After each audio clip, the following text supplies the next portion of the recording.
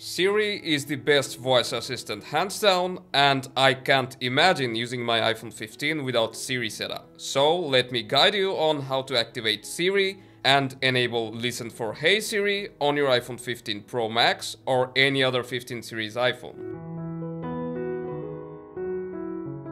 Now to set up Siri, you can just long press on the power button and the setup screen will pop up.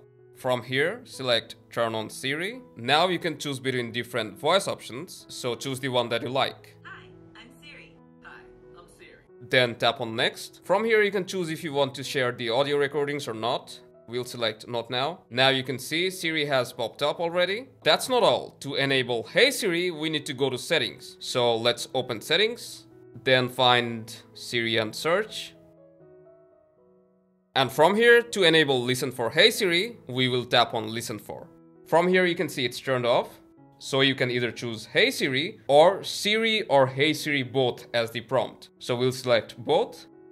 Now you need to go through this small setup process. Select Continue and follow the prompt. Siri, how's the weather? Hey Siri, get directions home. Siri, play some music. After going through the five prompts, your Siri is ready to use. So we'll select done and that's all. Now to use Siri, you can either press down on the power button or you can just say Siri or Hey Siri and Siri will pop up. So that's how easily you can set up Siri on your iPhone 15. Hope you enjoyed this video and make sure to stay tuned for more.